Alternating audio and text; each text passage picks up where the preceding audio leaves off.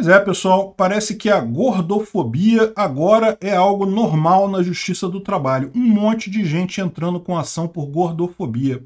Vamos entender isso daí e por que, que isso prejudica os gordos. Essa notícia foi sugerida por Onça Vegana, Big Andy e várias outras pessoas. Obrigado aí ao pessoal que sugeriu a notícia. Obrigado a você que está assistindo o nosso vídeo. Se você gosta do nosso conteúdo, por favor, deixe o seu like, se inscreva aqui no canal. Né? Pois bem, o que seria gordofobia? Seria o preconceito com uma pessoa por ser gorda. E é, existe isso de preconceito com gordo? Pô, vamos combinar, existe, né? Mas aquele negócio é culpa nossa mesmo. Eu sou gordo, eu, eu reconheço que é por falta de disciplina, por falta de fazer um negócio mais bem feito, fazer exercícios de forma mais metódica, fechar a boca de vez em quando e principalmente no meu caso particular, parar de beber cerveja, né? Mas é, a verdade é essa. O que está acontecendo? A pessoa gorda, quando é demitida, ela diz que foi demitida por gordofobia e aí exige indenização da empresa que ela trabalhou. Qual que é o problema desse tipo de coisa? O problema desse tipo de coisa é que as empresas vão acabar se preparando para isso. Não vão querer mais contratar gordo, porque sabe, contratar o gordo não tem problema nenhum, não é desgordofobia, não é, é, é gordofilia, né, que seria amor a gordo, não é isso. É, é, contratar gordo não tem problema, mas aí na hora que você vai demitir o cara, ele vai alegar gordofobia. Então o que, que você faz? Você para de contratar o cara. É assim que funciona. Esse é o grande problema desse tipo de coisa. Vocês acham, você acha que não, Ih, se dei bem, olha só, vou ganhar a indenização da justiça porque eu sou gordinho e a empresa me demitiu só porque eu sou gordinho. Não, a empresa pode ter demitido por um monte de coisas. E olha só, vamos combinar, dependendo da profissão, a pessoa ser gorda realmente atrapalha, né? A pessoa gorda, ela ocupa mais espaço no mundo, a verdade é essa. Só, na hora de sentar no, é, é, na hora de sentar na cadeira do avião ali, ninguém gosta de sentar do lado de gordo. Dependendo do lugar que você vai trabalhar, você vai estar realmente incomodando as pessoas. Não tem como evitar isso. Não é questão de preconceito, é questão de física. Física pura. É, e aí o que, que acontece? Quando a pessoa leva isso para o lado da ah, é um preconceito, que absurdo, estou sofrendo gordofobia, o que, que acontece? As próprias empresas vão começar a levar isso em conta. Não vou contratar aquele cara meio gordinho, porque amanhã vai que ele engorda mais, eu resolvo demitir ele, aí, pô, não vou conseguir demitir ele, porque se eu, se eu demitir ele vai me acusar de gordofobia. Esse tipo de coisa é o que eu digo, não existe, essa justiça que tenta fazer justiça de tudo acaba dando errado. Não pode, a justiça tem que ser isenta. Ok, se a empresa falou pro cara, olha só, tô te demitindo porque você é gordo mesmo, beleza, né? Aí o cara pode dizer que foi uma coisa injusta, sei lá, mesmo assim eu acho que não tem nada demais. A empresa ela tem o direito de escolher quem é que vai trabalhar nela, não tem esse negócio de ficar, ah, pode esse, não pode esse, não pode, não pode discriminar e coisa e tal. Eu já expliquei para vocês como é que isso no final das contas atrapalha as pessoas. Vamos supor, a empresa na hora de contratar não quer contratar gordo. Ah, mas ela não pode botar um anúncio dizendo, olha só, contratamos pessoas magras. Ela não pode fazer isso. É considerado gordofobia ou é considerado preconceito aqui no Brasil.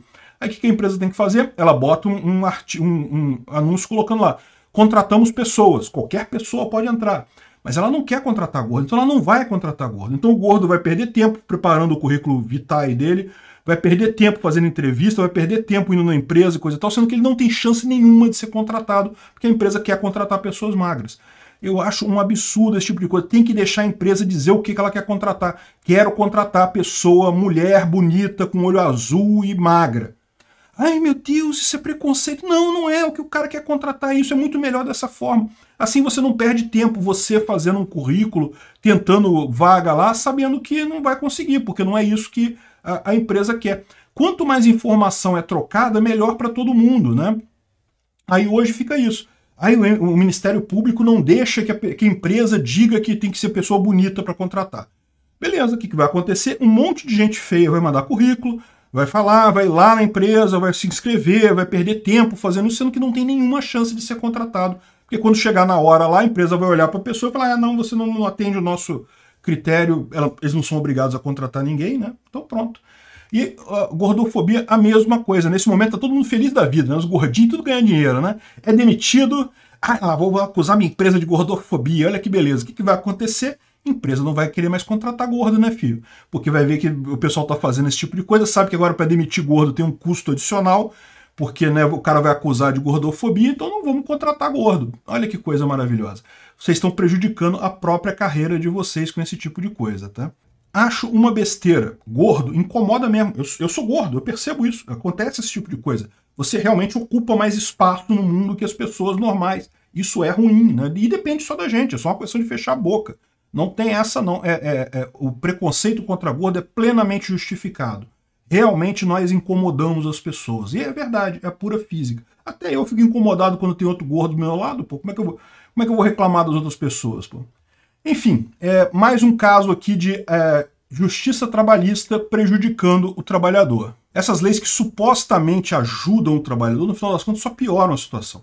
Aqui no Brasil, há muito tempo atrás, havia uma lei, lá da época do Getúlio Vargas, que dizia que o empregado com 10 anos de emprego não podia mais ser demitido, dava estabilidade para o empregado com mais de 10 anos de emprego. Olha que absurdo isso. Imagina uma empresa que não pode demitir a pessoa porque ela está mais de 10 anos na empresa. O que, que acabava acontecendo? Exatamente, você adivinhou. Todo empregado, quando fazia nove, me... nove anos e onze meses, era demitido, né? Evidentemente. Você...